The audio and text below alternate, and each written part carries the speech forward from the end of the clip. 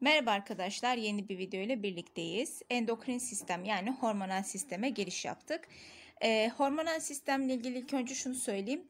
Tamamen ezbere dayalı diyebiliriz aslında. Burada sadece mantığını anlamanız gereken bazı yerler var. Oralardan bahsedeceğim. Geriye kalan kısımlarda arkadaşlar işte e, hangi hormon ne işe yarıyor bununla ilgili görev ezberlemesi şeklinde gidecek. Yine önce AYT biyoloji dinleyebilirsiniz da, ya da benim geçen seneki videolarımdan dinleyebilirsiniz endokrin sistemi. Daha sonra apotemi ve palmeden çözüyorsunuz. Sonra da arkadaşlar gelip ÖABT kitabından çözüm yapıyorsunuz. Tabii ki bu videoyu dinleyerek. Şimdi başlayalım isterseniz. Şimdi burada Hormonlar ve diğer sinyal moleküllerin reseptörlere bağlanmasından bahsedeceğim. Arkadaşlar endokrin iletişim dediğimiz bir olay vardır. Yani bizim hormonlarla gerçekleşen bir iletişim vardır. Peki bu iletişim nasıl gerçekleşiyor? Hormonu üreten hücre hormonu ürettikten sonra e, egzostoz yoluyla ya da difüzyon yoluyla ürettiği hormonun yapısına bağlıdır arkadaşlar bu. Egzostoz yoluyla ya da difüzyon yoluyla kendi dışarıya verir. Daha sonra doku sıvısından da nereye geçer? Kan damarına geçer. Bakın burada unutmayın. Hormonlar sadece damar içerisinde taşınır. Yani kan içerisinde taşınır. Vücut boşluklarında bulunmaz. Yani mide, ağız, bağırsak gibi boşluklarda bulunmaz arkadaşlar. Sadece damar içerisinde bulunur. Endokrin iletişimde salgılanan moleküller kan dolaşımına geçiyor.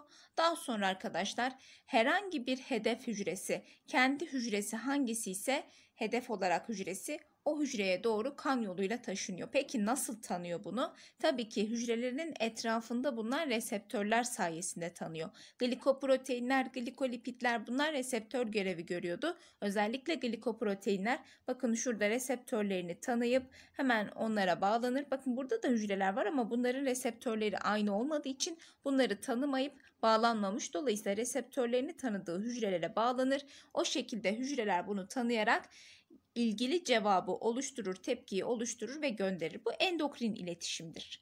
Bir de parakrin iletişim dediğimiz iletişim vardır. Arkadaşlar parakrin iletişimde salgılanan moleküller bölgesel olarak difüze oluyorlar ve komşu hücrelerin yanıtlarını tetikliyorlar. Yani şöyle düşünün. Mesela buraya diyelim ki bir hormon geldi, bağlandı. Başka bir madde daha salgılanıyor. Başka bir madde de gelip bunun yanıtını etkiliyor, tetikliyor. Tamam bu da parakrin iletişimdir. Sonra geliyoruz otokrin iletişime. Arkadaşlar otokrin iletişimde de salgılanan moleküller geliyorlar bölgesel olarak difüze oluyorlar. Yani işte bölgeye bırakılıyorlar difüzyon olayıyla daha sonra kendilerini salgılayan hücrelerin yanıtını tetikliyor. Bakın otokrin adı üstünde otomatik kendi kendini etkileyecek, kendi kendini çalıştıracak. Burada hücre ne yapıyor? Bir maddeyi salgılıyor. Daha sonra bu madde gelip tekrardan kendi hücresini uyarıyor. Aynı mideden salgılanan gastrin hormonu gibi düşünebilirsiniz. Gastrin hormonu mide hücreleri tarafından salgılanıyor. Daha sonra bu hormon kan yoluyla taşınarak tekrar gelip mideyi uyarıyor. Bakın otomatik kendi üretildiği hücreleri tetikliyor. Biz buna otokrin iletişim diyoruz. Sonra arkadaşlar sinaptik iletişim vardır. Bunun detaylarını tabii ki sinir sisteminde göreceğiz. Burada kısaca bahsedelim. Bir sinir hücresiyle bir bir diğer sinir hücresi ya da bir diğer hedef hücresi arasında görülen iletişime biz sinaptik iletişim diyoruz. Arasında boşluğa da sinaps boşluğu diyoruz. Burada nörotransmitter madde dediğimiz maddeler üretilir. Dopamin, işte ee, serotonin gibi maddeler üretiliyor. Bu maddeler ee, yine sinaps bölgesi dediğimiz şu bölgelere difüze oluyorlar. Egzostoz yoluyla tabii ki bunlar aktarılıyorlar. Difüze olma demek aslında difüzyon olayı değil de aktarım gibi düşünebilirsiniz. Çünkü buradaki olay tamamen difüzyonla gerçekleşmiyor. Egzostoz yoluyla da gerçekleşiyor. Sonra arkadaşlar burada hedef dokulara gider. Mesela buradaki hedef dokudaki reseptörlere bağlanır. Oradan da tepki oluşmasını sağlıyor. Bu da sinaptik iletişimdir. Bir de nöroendokrin iletişim dediğimiz iletişim vardır. Burada da sinirsel hormonlar yani üretilen sinirsel hücre hormonlar işte e, serotonin, dopamin gibi hormonlar kan dolaşımına giriyorlar. Yani damarlara giriyorlar. Daha sonra vücudun herhangi bir yerindeki hedef hücreleri tetikliyorlar arkadaşlar. Biz buna da nöroendokrin iletişim diyoruz. Bir de feromonlarla iletişim vardır. Bu da böceklerde görülen bir iletişimdir arkadaşlar. Ee, böcekler feromon dediğimiz maddeleri salgılayarak bir işaret bırakırlar ve bu işaretler sayesinde de diğer akrabaları olan canlılar, diğer böcekler ne yapıyor? Aynı yolu kullanarak mesela başka bir yola gidebilir veya işte bu feromonlar sayesinde üreme olayı gerçekleşebilir. Feromon dediğimiz e, böceklerde görülen, üretilen bir maddedir. Hormon benzeri bir maddedir arkadaşlar. Bunlar ne yapıyorlar? İşte e, işaret bıraktıran bir maddedir. Feromonlarla iletişim bu şekilde gerçekleşiyor. Şimdi gelelim artık bizim için daha önemli olan kısma hormonlara. Arkadaşlar nedir hormon? Endokrin bez dediğimiz bezlerden salgılanan kimyasal habercilere biz hormon diyoruz. Peki hormonların özellikleri nelerdir? Bunlar az miktarda da etkilerini gösterebilirler. Eşik değerin altında ya da üstünde olursa metabolik rahatsızlıklara sebep olurlar ki bu hastalıklardan bahsedeceğiz. Hedef organlara kesinlikle kanla taşınır. Bakın başka hiçbir maddeyle hiçbir şeyle taşınmaz. Sadece kanla taşınıyor. Etkileri yavaştır. Çünkü kan dolaşımında taşınıyor gidecek işte bağlanacak da bilmem ne de o yüzden yavaştır etkileri ama uzun sürelidir. Yani yavaş olmasına rağmen uzun süre etki gösterebiliyor. Protein yapılı olabilir, steroid, aminoasit, peptit ve aromatik yapılı olabilirler arkadaşlar. Yine vücutta sinir sistemiyle birlikte çalışıyor. Zaten sinir sistemiyle birlikte olan endokrin sisteme biz ne diyoruz? Denetleyici ve düzenleyici sistemler diyoruz. Etkilerini sadece belirli hücre ve dokularda gösterir. Reseptörler sayesinde tanım olayını gerçekleştirir ve sadece belirli hücreye, belirli dokuya bağlanır. Şimdi biz burada bezlerden bahsedelim. Vücudumuzda bulunan bezler. Arkadaşlar 3 çeşit bezimiz vardır. Endokrin bezler, egzokrin bezler ve karma yani mezokrin bezler. Endokrin bakın iç salgı bezleri. Egzokrin dış salgı bezleri, mezokrin de karma bezlerdir yani karışık bezlerdir. Peki nasıl olacak? Endokrin yani iç salgı bezleri salgılarını kana verirler arkadaşlar ki bunların salgılarına hormon denir. Egzokrin olanlar dış salgı zaten egzo dış demek exit'ten gelsin aklınıza. Dış salgı bezleri bunlar da salgılarını vücut dışarısına ya da vücuttaki boşluklara salgılar. Bunlar da nedir örnek olarak ter, ter ve enzimler. Karma olan bezlerse hem endokrin özellik gösteriyor hem de egzokrin özellik gösteriyor. Mesela pankreas. Pankreas sindirim sisteminde gördük. Ne salgılıyordu pankreas? Sindirim enzimleri salgılıyor. Enzim salgıladığı için egzokrin bir bezdir. Ayrıca İnsülin ve glukagon hormonlarını salgılar arkadaşlar. Hormon salgıladığı için de endokrin bezdir. Dolayısıyla iki özelliği de gösterdiği için biz bu beze mezokrin bez diyoruz. Mesela ince bağırsak, mide bunlar mezokrin bezlerdir. Hem hormon hem de enzim salgıladıkları için. Yine bizim ter bezlerimiz, yağ bezlerimiz de nedir? Egzokrin bezlerdir. Şimdi hormonların kimyasal sınıflarından şöyle bir bahsedelim. Hani çok detayına girmeyeceğim arkadaşlar. E, polipeptit yapılı olan var yani protein yapılı olan insülin mesela örnek olarak. Yine steroid yapılı olanlar var. Steroid yapılı olanlar küçük moleküller oldukları için bunların reseptörleri hücrenin içerisindedir. Hücre içi reseptörlere bağlanıyorlar. Polipeptitler büyük oldukları için bunların reseptörleri hücrenin dışındadır arkadaşlar. Hücre dışındaki reseptörlere bağlanıyor. 2017 ya da 2018'di sanırım. 2017 olması lazım bir soru çıktı işte steroid yapılı hormonlarla ilgili hangisi doğrudur ya da yanlıştır öyle bir soru vardı. Steroid yapılı hormonların hücre içindeki reseptöre bağlantısıyla ilgili bir e, öncül de vardı arkadaşlar. Dolayısıyla bu önemli. Steroid yapılı hormonlar küçük moleküller olduğu için hücre zarından kolaylıkla geçebiliyor. Bu yüzden de bunların reseptörleri hücrenin içerisindedir. Ama protein yapılı olanlar Polipeptit yapılı olanlar büyük moleküller olduğu için hücre zarından geçemiyorlar. Dolayısıyla bunların reseptörleri de hücre dışındadır. Yine amin grubu olarak vardır arkadaşlar. Amin olarak vardır. İşte epinefrin, tiroksin de amin grubuna girer. Aminler de küçük moleküller olduğu için onlar da reseptörleri hücre içerisindedir. Şimdi protein yapılı hormonlar az önce söyledik. Nereye bağlanıyor dedik? Hücre zarındaki reseptörlere bağlanıyor. Peki reseptöre bağlandıktan sonra ne oluyor? Arkadaşlar burada CMP yolunu oluşturuyorlar. Hatırlarsanız hücreler arası iletişimde CMP yolundan bahsetmiştik. Arkadaşlar ikincil haberci olan bu CMP reseptörlerde bulunan proteinler tarafından uyarılıyor ve ATP'den CMP oluşturuluyor.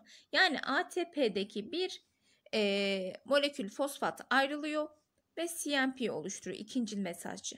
Daha sonra bu protein kinazları uyarıyor arkadaşlar. Protein kinazları uyardıktan sonra da işte tepkinin oluşmasını sağlıyor. Mesela bizim ee, epinefrin hormonu ne yapıyor? Diyelim ki geldi. Epinefrin nedir? Adrenalin hormonudur.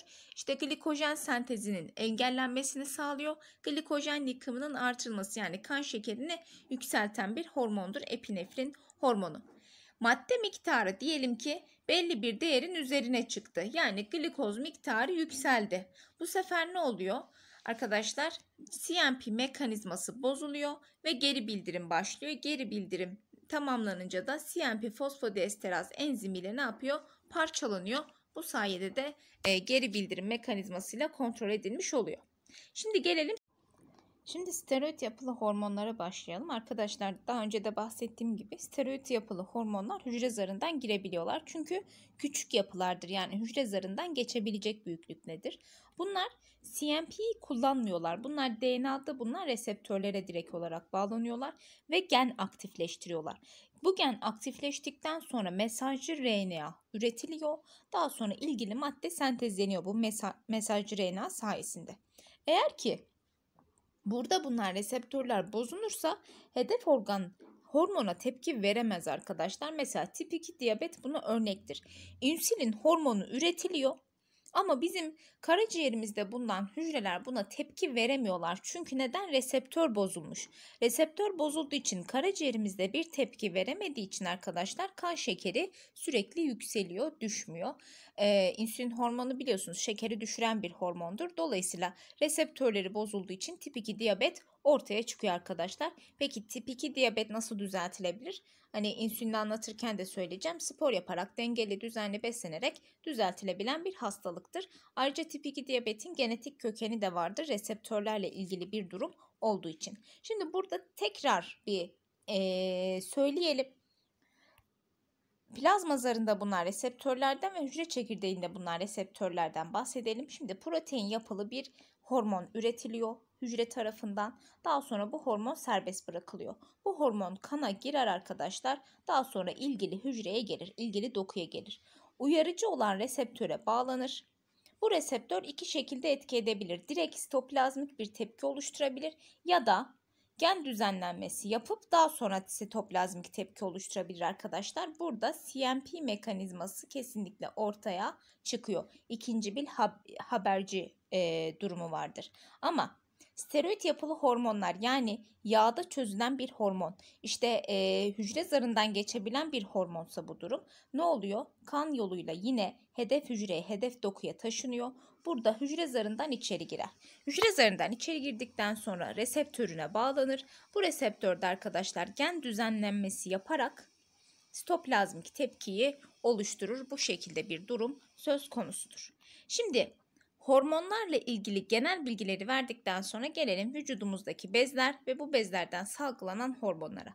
Arkadaşlar bizim vücudumuzda bulunan bezlerden en önemli olanlardan bir tanesi tabii ki hipofiz bezidir. Hipofiz bezini uyaran yapı ise hipotalamustur. Zaten hipofiz bezimiz bizim beynimizde hemen hipotalamusun altında bulunur. Bakın şurası hipotalamus, şu kısımda nedir? Hipofiz bezidir. Hipofiz bezinin iki tane bölgesi var. Biri ön lob, biri de arka lob. Arkadaşlar arka lob yani posterior hipofiz burada hipotalamusta üretilen nörohormonlar buradan kana veriliyor. Yani hipotalamus tarafından üretilen oksitosin ve antidiüretik hormon e, hipofiz bezinde depo ediliyor. Hipofizin arka lobunda. Daha sonra buradan kana veriliyor. Peki oksitosin hormonu ne işe yarıyor? Rahim ve meme bezlerinin kasılmasını uyarıyor arkadaşlar. Antidiüretik hormon da böbreklerden su emilimini geri sağlıyor. Anterior hipofiz bezi yani ön hipofiz bezi, ön lobu ne yapıyor? Burada da 7 tane hormon salgılanıyor. Nedir bu hormonlar? Büyüme hormonu, prolaktin, folikül uyarıcı hormon, luteinize edici hormon, tiroid uyarıcı hormon ve adrenokortikotropik hormon arkadaşlar. Bir de MSH dediğimiz bir hormon vardır. MSH hormonu e, epifiz bezinden salgılanır diye söylüyoruz ama bazı kaynaklar hipofiz bezinden e, salgılandığını söylüyor. Bununla ilgili de yine MSH e, hormonu da söyleyeceğiz arkadaşlar ilerleyen zamanlarda. Şimdi büyüme hormonuna baktığımız zaman büyüme hormonu zaten görevi belli değil mi? Ne iş yapıyor? Kemiklerde özellikle kemikleri uyaran bir hormondur. Kemiklerin boyunu uzamasını sağlayarak kişinin büyümesini sağlar. Yine metabolik işlevleri e, uyarır ve hızlandırır arkadaşlar. Metabolizmayı hızlandıran bir hormondur. Özellikle çocukluk döneminde çok fazla salgılanan bir hormondur büyüme hormonu. Büyüme hormonu GH olarak da karşınıza çıkabilir. Yine prolaktin. Prolaktine geldiğimiz zaman prolaktin e, kadınlarda da bulunur erkeklerde de bulunur ama kadınlarda etkisi arkadaşlar daha bellidir. Erkeklerde tam olarak etkisi belli değildir. Süt üretimini ve sütün salgılanmasını sağlayan bir hormondur prolaktin. Şimdi diğer bir hormonumuza gelelim. Folikül uyarıcı hormon. Arkadaşlar FSH hormonu bu nedir? Glikoprotein yapılı bir hormondur. Şimdi burada protein yapılı, peptit yapılı falan yazmış ama bunlar çok önemli değil. Siz protein yapılı hormonların işte hücre zarındaki reseptörlere bağlandığını, steroid yapıdaki hormonların da hücrenin içerisinde çekirdekte bulunan reseptörlere bağlandığını bilin yeterlidir. Şu kadar detayını bilmenize gerek yok. Şimdi folikül uyarıcı hormon ne yapıyor? Hem erkeklerde hem de dişilerde e, bulunan bir hormondur arkadaşlar üretilir. Yumurta ve sperm üretimini sağlar. Kadınlarda yumurta üretimini, erkeklerde de sperm üretimini sağlıyor. Luteinize edici hormon, luteinleştirici hormon bu da yumurtalık ve testisleri uyarır. Detaylarını biraz sonra anlatacağım. Tiroid uyarıcı hormon, tiroid uyarıcı. Bakın eğer bir hormon uyarıcı bir hormonsa biz buna tropik hormon diyoruz tropik hormon. Başka bir salgı bezini uyaran hormonlara tropik hormon diyoruz. Nereyi uyarıyor arkadaşlar? Tiroid bezini bir hormon salgılaması için uyarıyor. Bakın unutmayın.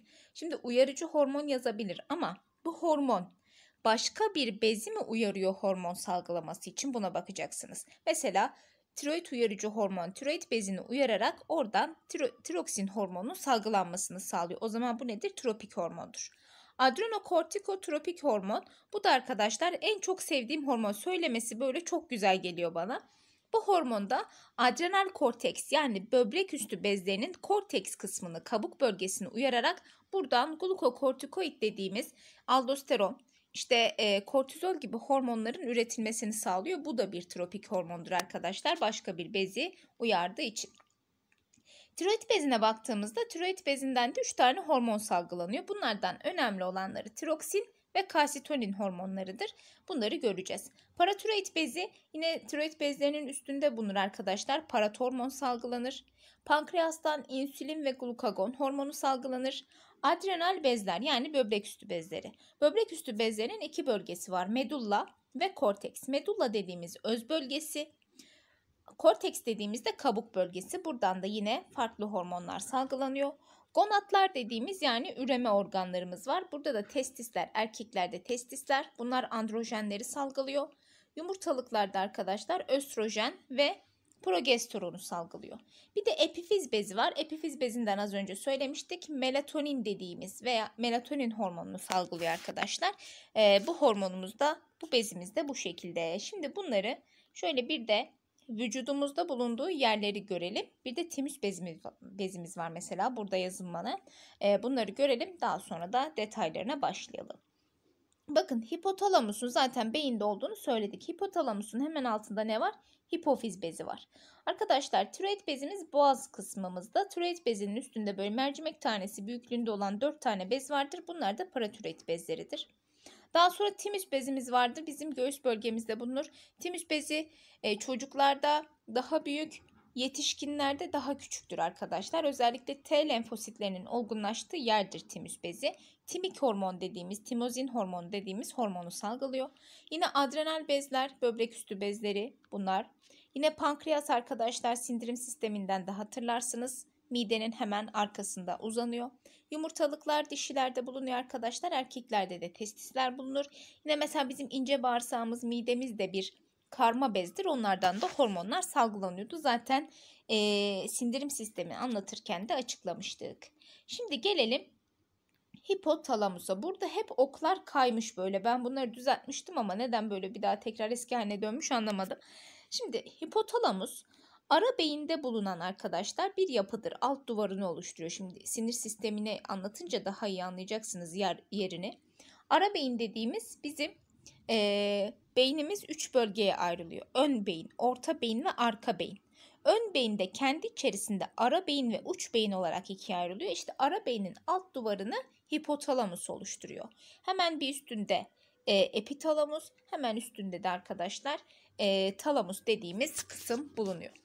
Şimdi hipotalamustan salgılanan iki tane hormon var.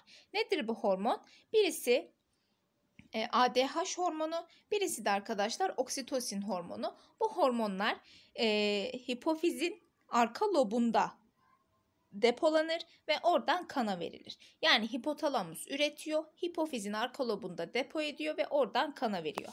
Ayrıca hipotalamusta arkadaşlar belirli bölgeleri etkileyen salgılatıcı faktör salgılanır. Relasing faktör dediğimiz, RF dediğimiz mesela büyüme hormonu GRF, kortikotropin dediğimiz CRF, yine tiroksin hormonu TRF, üreme hormonları GNRH. Bunları da ne yapıyor arkadaşlar? İşte bu bölgeleri uyararak tiroksin e, hipotalamus GRF'yi üreterek büyüme hormonunun üretilmesini sağlıyor. Yine CRF'yi üreterek kortikotropinlerin mesela kortizol gibi işte e, aldosteron gibi hormonların üretilmesini sağlıyor. Yine tiroksin hormonunun üretilmesi için TRF'yi salgılar. Bu şekilde uyarıcı faktörler salgılıyor hipo, e, hipotalamus. İlk olarak hipofiz bezinden başlayalım. Hipofiz bezi de ara beyinde hipotalamusun hemen altında bulunuyor. Bakın hipotalamus burada, hipofiz bezi de burası. Hipofizin iki tane lobu vardır arkadaşlar. Bunlardan bir tanesi ön lob, diğeri de arka lob olarak e, söylüyoruz. Ön loba ben burada anterior yazmışım ama yanlış yazmışım. Posterior olacak arkadaşlar. Posterior. Posterior yanlış yazmışım e, arka lob anterior olacak. Ön lob. Pardon bir dakika doğru yazmışım. Yanlış yazmamışım. Ben şu an karıştırdım. Doğru doğru. Anterior lob e, ön lobdur arkadaşlar. Ya, yanlış söyledim. E, hipofizin ön lobunda sinir bulunmuyor. Bu yüzden de arkadaşlar sadece hipotalamustan ne yapıyor? Uyarı alıyor ve epitel dokudan oluşuyor hipofizin ön lobu. Arka lobu ise sinirlerden oluşuyor yani sinir hücrelerinden oluşuyor. Hipotalamusun ürettiği hormonlar burada depolanıyor, salgılanıyor. Zaten iki tane hormon var hipotalamusun ürettiği. Biri ADH, diğeri de oksitosin hormonudur. Şimdi hipofizin ön lobundan salgılanan hormonlara bakalım. Arkadaşlar hipofizin ön lobundan salgılanan hormonlar somatotropin hormon yani STH büyüme hormonu. Bu kemik ve kasların büyümesini sağlayan bir hormondur. Özellikle uzun kemiklerimizde bulunan epifiz plağını uyarırlar ve kemiğin boyunca uzamasını sağlarlar. Çocuklarda hücre bölünmesini uyarır, kütlesel artışa sebep olur. Protein sentezini artırır, yağ, karbonhidrat metabolizmasında görevlidir. Yani büyüme hormonu dediğimiz için vücudumuzun aslında tüm hücrelerini uyararak e, büyümemizi sağlayan bir hormondur. Eğer çocuklarda fazla salgılanırsa gigantizm yani devlik, az salgılanırsa cücelik yani nanizm ortaya çıkıyor. Ama yetişkinlerde fazla salgılanırsa arkadaşlar bu sefer de akromegali dediğimiz bir hastalık oluşuyor. Nedir akromegali hastalığı? Bakın şudur. Ellerin ve ayakların ayrıca kafanın arkadaşlar e, vücuda oranla daha büyük olması. Mesela bakın buradaki elin şu ele oranla daha büyük olması nedir? Bir akromegalidir. Yine bu aynı şekilde akromegali hastalığıdır. Bakın kafası da yine burada normal bir bireye göre daha büyüktür. Bu nedir? Akromegali. Mesela devlik yine devlik hastalığına sahip bir birey. Yine cücelik hastalığına sahip bir bireyimiz arkadaşlar bu şekilde özelliklere sahiplerdir. Gelelim tiroid uyarıcı hormona. Bunlara tropin, e, tirotropin hormonu da deniliyor. Tiroid bezlerinin büyümesini uyarıyor. Ayrıca tiroksin hormonunun salgılanmasını uyarır. Şimdi tiroksin hormonu T4 olarak da karşınıza gelebilir. Yani sorularda size direkt tiroksin demeyip T4 hormonu ile ilgili hangisi yanlıştır, hangisi doğrudur denilebilir arkadaşlar. T4'ün tiroksin olduğunu bilin. Eğer tiroid uyarıcı hormon fazla salgılanırsa fazla miktarda tiroksin salgılatacağı için Guatr hastalığına sebep olur. Folikül uyarıcı hormon FSH bu da yumurtalıklarda folikül oluşmasını yani işte yumurtanın içerisinde bulunan hücrelerin oluşmasını sağlıyor ve yumurta üretimini uyarıyor arkadaşlar. Ayrıca folikül uyarıcı hormon östrojen hormonun üretilmesini de sağlar. Testislerde spermatogenezi uyarır yani sperm oluşumunu sağlar ve eşeysel bezlerin çalışmasını düzenleyen bir hormondur. Burada bilmeniz gereken bakın folikül uyarıcı hormonun hangi hormonları ürettiği. Folikül uyarıcı hormon dişilerde östrojen hormonunu üretilmesini sağlar unutmayın. Gelelim luteinleştirici hormon. Bu da yine yumurtalıklarda ve testislerde üretilir arkadaşlar. Yumurtalıklardan fallopi tüpüne yumurtanın çıkmasını yani ovülasyon dediğimiz olayı sağlıyor. Menstrual döngüde korpus luteum yani sarı cismin yine oluşmasını sağlıyor. Testislerin seminifer tüpçüklerinde şurada Ç olacak. Seminifer tüpçüklerinde bulunan Leydig hücrelerini uyararak testosteron hormonunun salgılanmasını sağlıyor. Ayrıca buraya yazmamışım. Dişilerde progesteron hormonunun da üretilmesini uyarır arkadaşlar. Dişilerde luteinleştirici hormon. O zaman bakın Folikül uyarıcı hormon östrojenin salgılanmasını sağlıyor dişilerde. Luteinleştirici hormon dişilerde progesteron, erkeklerde de testosteronun üretilmesini sağlıyor. Diğer bir hormonumuza gelelim. Lüteotropik hormon yani LTH, prolaktin. Şimdi erkeklerde de var, kadınlarda da var ama erkeklerde etkisinin ne olduğu tam olarak bilinmiyor. Lüteotropik hormon kadınlarda süt bezleri ve ovaryumda etkilidir arkadaşlar. Yani süt bezlerinin gelişmesini sağlar. Ayrıca ovaryumda yumurtanın da gelişmesine katkı sağlar. E, süt bezlerinin gelişimini, süt oluşumunu sağlar dedik. Yine östrojen ve progesteronun salgılanmasını uyarıyor. Kuşlarda ve memelilerde annelik içgüdüsünün oluşumunda da etkilidir. Ama bununla ilgili e, fizyoloji kitaplarında belli bir hani durum geçmiyor. Yani şöyle söyleyeyim mesela Campbell'da falan bu geçmiyor arkadaşlar. Annelik içgüdüsü oluşturur mu oluşturmaz mı bununla ilgili tam bir bilgi yok. Ee, ÖSYM şu zamana kadar zaten lüteotropik hormonla ilgili bir soru sormadı. Sorarsa da bu kısmını soracağını zannetmiyorum. Annelik içgüdüsünün oluşumunda etkili midir, etkili değil midir? Bununla ilgili bir soru soracağını zannetmiyorum. Çünkü akademik kaynakların çoğunda yok bu bilgi. Bu e, neydi bilim kitap yazarı hatırlamıyorum da fizyoloji kitabında mesela yok. Bu bilgiyi vermiyor. Dolayısıyla bunu hani olabilir olmayabilir şeklinde kafanızda tutabilirsiniz. Gebelik boyunca ayrıca korpus luteum'un bozulmasını engeller. Korpus luteum'un bozulması demek üreme sisteminde anlatacağım. Bozulması demek düşük oluşumu demektir. Yani düşük oluşumunu engelleyen bir hormondur. Litootropik hormon.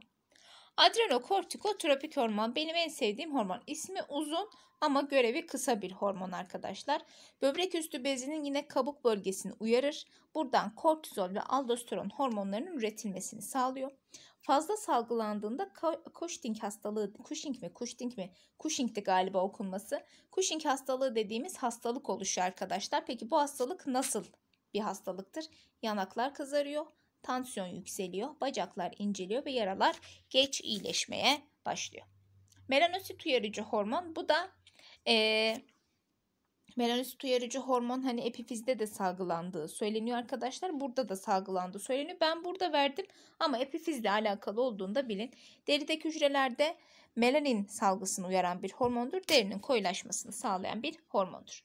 Gelelim hipofizin arka lobuna. Şimdi hipofizin arka lobunda unutmayın. Hipotalamus burada salgılıyor. Sinirsel hücreler vardı. Bu hücreler aracılığıyla buraya aktarır. Daha sonra arkadaşlar e, posterior hipofiz yani arka hipofizde bunu depo eder. Depo ettikten sonra da ilgili olduğu zamanlarda ADH ve oksitosin hormonları salgılanarak nereye veriliyor? Kana veriliyor. Hipotalamusta üretilir. E, hipofizin arka lobunda depo edilir. Oksitosin erkeklerde görevli değil bakın var ama görevli değildir arkadaşlar. Kadınlarda uterusun kasılıp gevşemesini sağlayarak doğumu kolaylaştırır. Uterus dediğimiz rahim. Rahimin işte e, kasılıp gevşemesini sağlayarak doğumu kolaylaştırıyor. Süt bezlerinden de sütün gelmesini sağlıyor. Oksitosinle ilgili şunu söyleyeyim. Mesela zorunlu sezeryan olan kişilerde zaten sezeryanı şu an hani zorunlu olmadıkça yapmıyorlar. İsteğe bağlı olarak yapmıyorlar sezeryan doğumunu. Normal doğuma zorluyorlar. Şimdi sezeryan doğumu olan kişilerde oksitosin hormonu genellikle üretilmiyor ya da çok az üretiliyor. Çok az üretildiği için de e, zaten hani sancı dediğimiz durum ortaya çıkmıyor. Dolayısıyla zorunlu olarak sezeryana alınmış oluyor. Süt bezlerinden de dolayısıyla süt geç gelebiliyor arkadaşlar. O yüzden sezaryenle doğum yapan kişilerde, annelerde sütün geç gelmesi görülebiliyor. Bunun sebebi oksitosin hormonunun azlığından ya da yokluğundan kaynaklanır. Oksitosin hormonunun e, artırılması veya işte ilaç olarak kullanılması hani e, serumlarda serum olarak verilmesi sütün gelmesini artırılmasını sağlayabilir. Antidiüretik hormon, vazopressin hormonu. Arkadaşlar bu da genellikle vazopressin ismiyle karşınıza çıkar. Çünkü ÖABT kitapları vazopressini daha çok seviyorlar. Böbreklerden suyun geri emilimini sağlıyor. Peki böbreklerde nereyi uyarıyor? Distal tüpü uyarıyor arkadaşlar. Distal tübülleri uyararak buradan suyun geri emilimini artırıyor. Eksikliğinde kandaki şeker oranı yükseliyor. Yani şöyle düşünün bakın. Bizim kanımızdaki şeker seviyesi normalde 120 milimetre olması lazım. Ee, şimdi 120 aslında tamam sabit ama kanımızdaki su seviyesi azalırsa şeker seviyesi sabit olsa bile derişim yükselmiş olur. Dolayısıyla ne olacak burada? Şeker yükselmediği halde bir şeker yüksekliği ortaya çıkacak. Yani şeker yemenize ya da işte şeker yemek dediğim hani karbonhidratlı beslenmemenize bağlı olarak ortaya çıkan bir hastalıktır. Bu yüzden de şekersiz şeker hastalığı denir arkadaşlar buna ve oldukça da e, kendini belli etmeyen bir hastalıktır. Çok çok dikkat edilmesi lazım ve e, çok miktarda su tüketilmesi gerekiyor bu kişilerde. Evet geliyoruz tiroid bezine. Şimdi tiroid bezi Gırtlağın hemen üstünde yani boyun bölgemizde bulunuyor arkadaşlar. Yapısında folikül keseleri vardır ve bu keselerde e, kandan alınan iyot biriktiriliyor. Çünkü bu iyot tiroksin hormonunun yapısına katılıyor. Bu yüzden de mutlaka biriktirilmesi lazım. Tiroksinin salgısını TSH kontrol ediyor. Daha önce söylemiştik zaten. Şimdi yapı T4 yani tiroksin hormonuna gelelim. Yapısında iyot bulunan bir hormondur arkadaşlar ve amino asit türevi bir hormondur. Görevi nedir? Metabolizma hızını ayarlamak. Bazal metabolizmayı ayarlar özellikle. Yağ asitlerinin oksidasyonunu artırır yani yağ asitlerinin parçalanmasını sağlar. Glikojen oluşumunu azaltır yani kanın şekerini yükseltir. Eğer çocuklarda az salgılanırsa kretenizm yani ahmaklık, cücelik dediğimiz hastalık. Yetişkinlerde az salgılanırsa miksodema ve guatr. Yetişkinlerde fazla salgılanırsa egzofalmik guatr, iç guatr dediğimiz hastalıklar ortaya çıkar. Şimdi çocuklarda görülen bu ahmaklık ya da kretenizm dediğimiz cücelik hastalığı normal cücelikle karıştırılmasın. Normal cücelikte kişinin zekasında herhangi bir sorun yoktur ama ahmaklık, kretenizm dediğimiz kişilerde e, zeka geriliği de görülebiliyor arkadaşlar. Bu yüzden de mesela şu egzofalmik guatrın bir e, örneğidir. Seyrek, kuru ve kaba saçlar, ince kaşlar, e, göz kapağı arkadaşlar. Bakın ödemli göz kapağı. Gözler böyle dışarı pörtlemiş gibi. Yine kabarık, donuk yüz ve kuru cilt. Bunlar nedir? E, Guatr hastalığının belirtileridir. Burada da yine ahmaklık hastalığına sahip bir bireyi koymuşuz. Gelelim kalsitonine.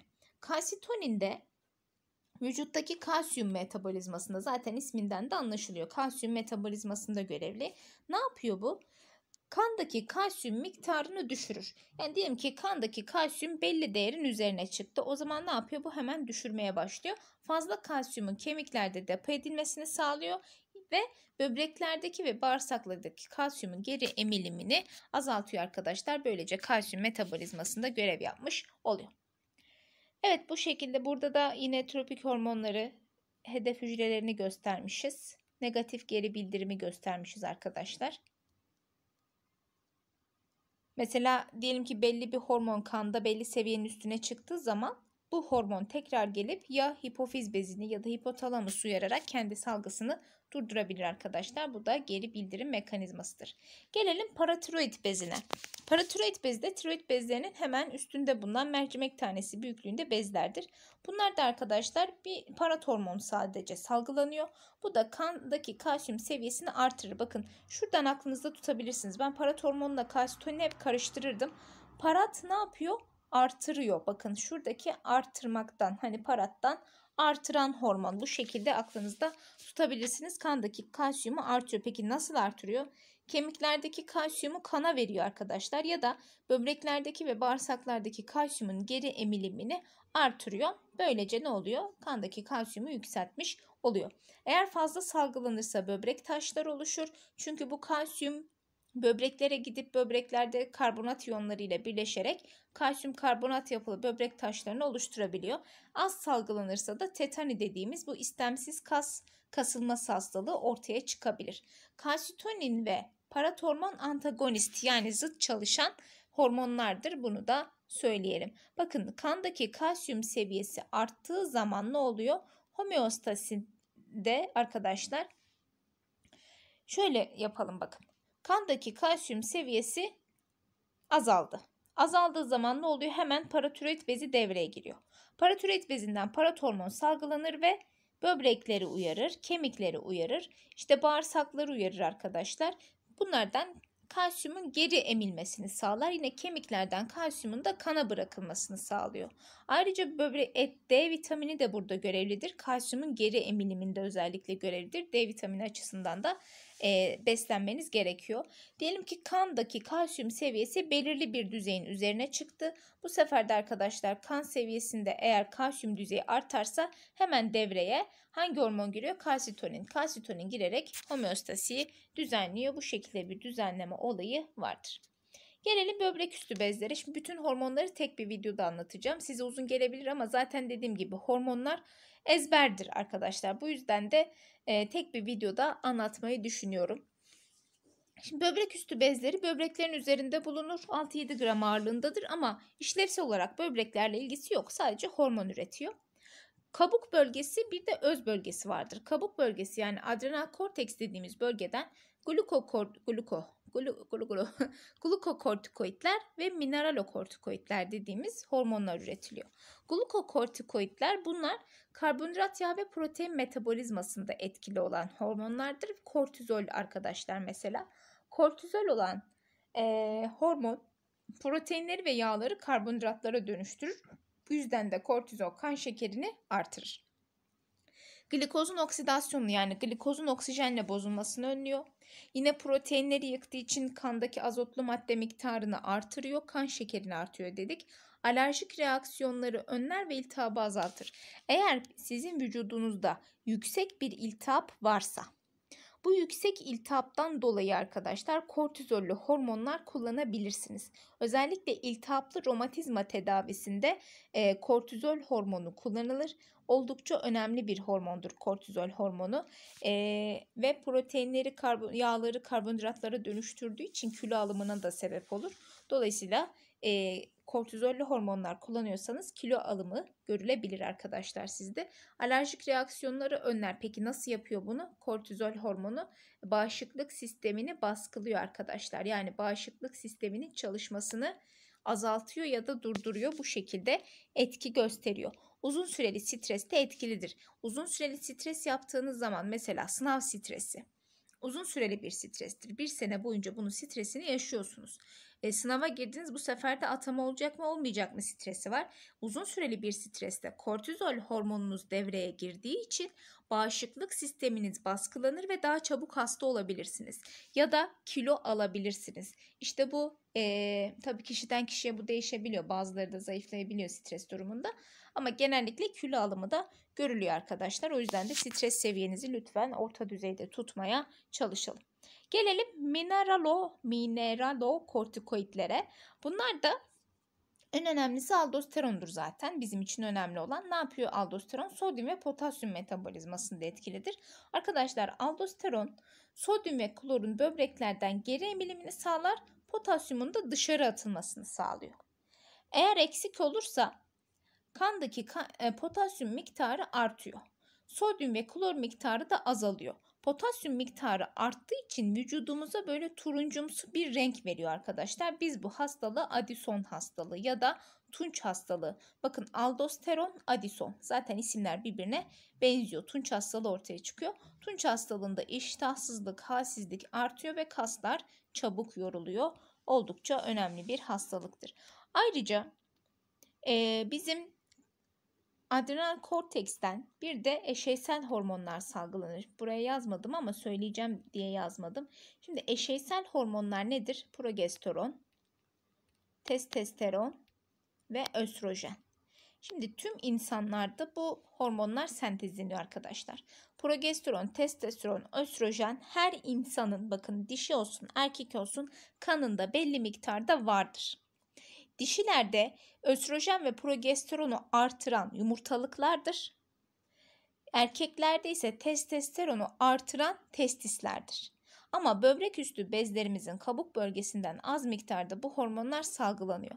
Eğer bu hormonlar fazla salgılanırsa erkeklerde dişilik özellikleri görülebilir ya da dişilerde erkeklik özellikleri, sakal çıkması, bıyık çıkması gibi. Tabi sakal bıyık derken hani mesela dişilerde tabii ki bıyık az miktarda oluyor ama burada kalın bıyıklar, kalın sakallar olarak düşünebilirsiniz. O şekilde bir kıllanma olayı gözlenebiliyor arkadaşlar.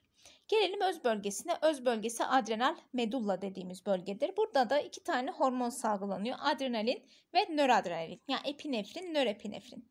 Adrenalin arkadaşlar hem sinir hücrelerinden nörotransmitter madde olarak salgılanıyor hem de öz bölgesinden salgılanıyor. Bu hormonlar nörosekrasyon hormonları deniyor. Çünkü e, sinir hücreleri tarafından üretildiği için nörosekrasyon hormonları da deniliyor. Amino asit yapılı bir hormondur. Sindirim sistemi hariç diğer sistemleri hızlandırıyor. Adrenalin hormonu sempatik sempatik sinirleri uyaran bir hormondur arkadaşlar. Sempatik sinirler bizim vücudumuzu hızlandıran sinirlerdir. Sinir sisteminde göreceğiz ve kısa süreli streste etkili olan hormondur adrenalin hormonu. Nöroadrenalin ise o da aynı şekilde vücudu hızlandırıyor. Ama arkadaşlar nöroadrenalin hormonunun ilk etkisi damarları daraltıp kan basıncını yükseltmektir.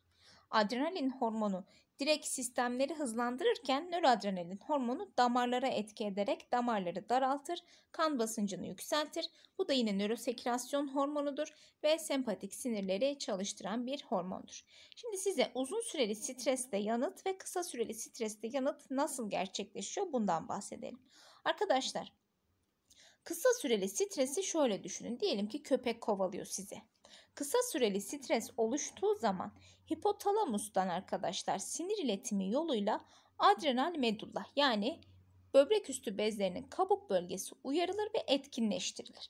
Etkinleştirildikten sonra burada epinefrin ve nörepinefrin hormonları uyarılır hemen, üretilir ve bu etkileri şöyledir. Glikojen glikoza yıkılır yani kan şekeri artırılıyor. Artırılmış kan basıncı kan basıncını artırır, solunumu hızlandırır, metabolizmayı hızlandırır. Yine dikkatin artmasına sebep olur. Sindirim, boşaltım ve üreme sisteminin etkinliklerinin azalmasına yol açar arkadaşlar. Ee, kan dolaşımını da hızlandıran bir hormondur. Epinefrin ve nörepinefrin. Bu kısa süreli stres. Köpeğin kovaladığını düşünün. O şekilde bir strestir. Uzun süreli streste mesela sınav stresi az önce de söylemiştim. Yine hipotalamus hormonal yolla adrenal korteksi etkinleştiriyor. Burada bu sefer de mineralokortikoidler ya da glukokortikoidler salgılanıyor. Mineralokortikoidler böbreklerden sodyum iyonlarının ve suyun tutulmasını sağlıyor. Kan basıncının ve hacminin de yine artmasını sağlıyor. Glukokortikoidler ise protein ve yağların yani mesela burada glukokortikoid dediğimiz kortizol hormonu ne yapıyor? Protein ve yağların glikoza dönüşmesini sağlıyor ve kandaki şekeri artırıyor. Yine bağışıklık sistemini de baskılıyor arkadaşlar. Glukokortikoidler uzun süreli streste etkilidir. Gelelim pankreas. pankreas mezokrin bir bezdir. Yani karma bir bezdir arkadaşlar. Ee, hem sindirim salgısı üretiyor hem de hormon üretiyor. İki tane hücresi vardır pankreasın. Nedir bu? Biri asinar hücreleri, Diğeri de Langerhans adacıkları. Asinar hücrelerinden sindirim salgıları üretilirken e, Langerhans adacıklarından ise hormonlar üretiliyor. Langerhans adacıklarında iki tane hücre vardır. Alfa ve beta. Alfa hücrelerinden glukagon, beta hücrelerinde insülin hormonu üretir arkadaşlar. Gelelim bu hormonların etkilerine. İnsülin hormonu indiren, kan şekerini indiren, düşüren bir hormondur. Kandaki amino asit ve glikozun hücreye geçişini sağlar. Yani kan şekeri ne yapıyor? Ee, düşürüyor arkadaşlar. Hücreye geçişini sağlıyor. Glikozun kullanılmasını sağlıyor. Glikozun yine yağ asitlerine dönüşmesini sağlıyor çünkü kan şekerini düşürmek için bir şeyler yapması lazım. Ayrıca glikozun fazlasını da karaciğerde glikojen şeklinde depo edilmesini sağlıyor. Protein sentezini hızlandırıyor. Peki insülin eksikliğinde ne olur? Arkadaşlar insülin eksikliğinde kandaki glikoz miktarı artıyor. Ama bu artan glikoz hücrelere giremiyor. Yani hücrelerin kullanması için hücreye geçemiyor. Çünkü bu geçmesini sağlayan insülin hormonuydu. Geçişini yapamıyor. Bu yüzden de hiperglisemi yani şeker yüksekliği tip 1 diyabet dediğimiz hastalık ortaya çıkıyor. Kanın ozmotik basıncı artıyor çünkü kandaki şeker sürekli yüksek olduğu için kanın su ihtiyacı artıyor. Ağız kuruyor, sürekli su içilip idrara çıkılıyor. Yine idrarda glikoza rastlanıyor. Parmak ucu, kulak ucu gibi bölgelere glikoz ulaşmadığı için dokular ölüyor ve kangren başlıyor. Allah korusun görme bozukluğu oluşuyor.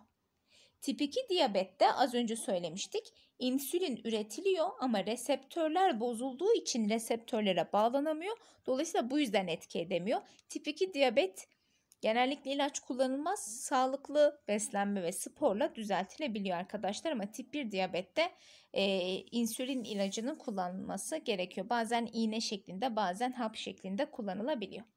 Gelelim glukagon hormonuna. Glukagon hormonu da kan şekerini artıran bir hormon. Şimdi insülin düşürüyor, glukagon artırıyor. O zaman antagonist yani zıt çalışan hormonlar bunlar. Karaciğerdeki glikojenin glikoza dönüşerek kana verilmesini sağlar. Yağ yakımını hızlandırır. Böylece yine kan şekerini artırır. Glikagon kaslardaki glikojeni etki etmez arkadaşlar. Sadece karaciğerdeki glikojeni etki eder. Yapısında fosfat bulunduğu için buradaki glikojen zaten kana geçemiyor glikozlar. O yüzden de kasları etki etmiyor. Şimdi kandaki glikoz düzeyi arttığı zaman ne oluyor bakın. Diyelim ki karbonhidratça zengin bir besinle beslendik. Bir öğün atlattık.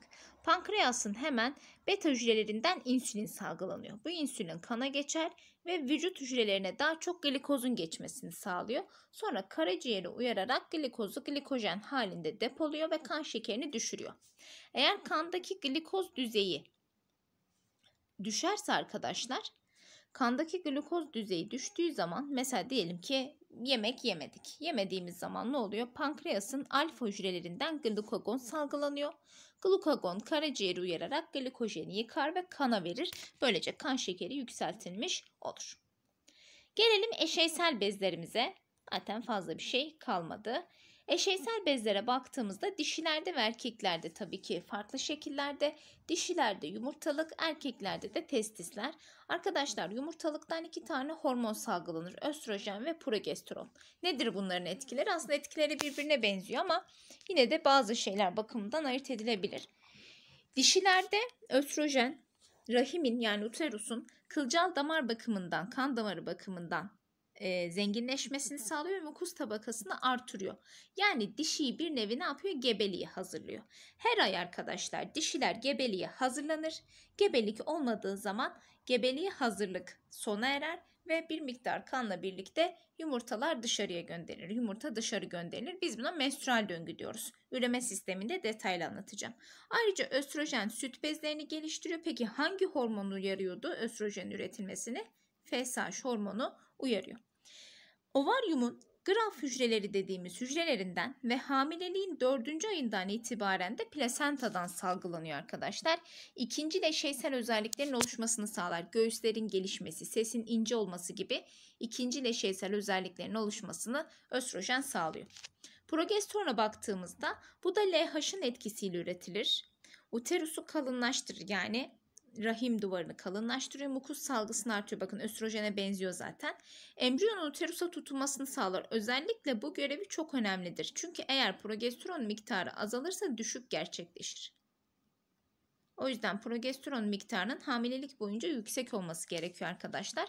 Hem korpus luteum dediğimiz sarı cisimden salgılanıyor hem de plasentadan salgılanıyor oldukça önemli bir hormondur hamilelik sırasında. Gelelim testislere. Testislerden tek bir hormon üretiliyor. Testosteron hormonu Leydig hücreleri tarafından üretiliyor arkadaşlar. Spermlerin olgunlaşmasını sağlayan bir hormondur. Ayrıca erkeklerde ikinci leşeysel özelliklerin de oluşmasını sağlar.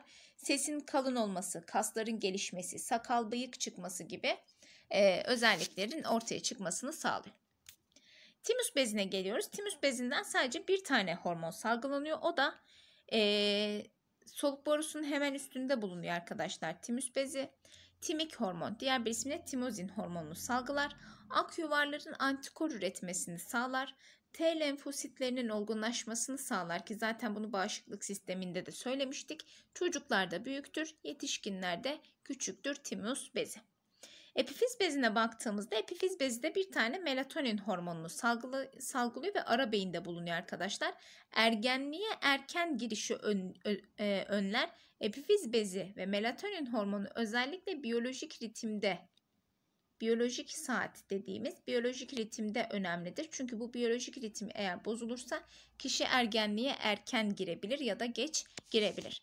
Plasenta, plasenta da bir e, bezdir arkadaşlar. Endokrin bez gibi düşünebilirsiniz. Çünkü bu da hormon salgılıyor. Hamileliğin genellikle 4. ayından itibaren progesteron ve östrojen hormonlarını salgılayan bir bezimizdir. Plasenta hamilelik sırasında oluşuyor zaten. Şimdi gelelim bir iki tane de e, not vereyim daha sonra bitirelim. Antagonist hormonlardan bahsetmek istiyorum. Antagonist hormonlar birbirlerine zıt çalışan hormonlardır. İnsülin, glukagon. İnsülin kan şekerini düşürürken glukagon ne yapıyor? Artırıyor. Kalsitonin paratormon. Kalsitonin kalsiyum seviyesini düşürürken paratormon artırıyor. Adrenalin, asetilkolin. Adrenalin bizim vücudumuzu hızlandırırken asetilkolin ne yapıyor? Yavaşlatıyor arkadaşlar. Dolayısıyla zıt çalışır. Yine kortizol ve glukagon. Kortizol kan şekerini ee, düşürürken pardon bir dakika bunlar antagonist çalışmaz. Kortizol da glukagon da kan şekerini artırır. Ben burada Evet kortizol glukagon değil de kortizol insülin olarak yazabilirsiniz. Yanlış yazmışım arkadaşlar. Kortizol ve insülin zıt çalışır. Kortizol kan şekerini arttırırken insülin kan şekerini düşürür diyebiliriz. Ee, genellikle antagonist olan hormonlarda insülin, glukagonu, kalsitonin ve paratormonu sorarlar. Diğerlerini çok karşınıza çıkmaz. Kan şekerini artıran hormonları da söyleyeyim. Tiroksin hormonu, adrenalin, nöradrenalin, kortizol ve glukagon bunlar kan şekerini artıran hormonlardır arkadaşlar. Yine karşınıza çıkma ihtimali var. Böylece endokrin sistemi tek bir videoda bitirdik. Videomuz biraz uzun oldu ama yine bir iki kere konu tekrarı yapıp sorularını çözdüğünüz zaman oldukça rahat çözdüğünüzü göreceksiniz. Sonraki videoda üreme sistemine geçiyoruz. Sonraki videoda görüşmek üzere. Hoşçakalın.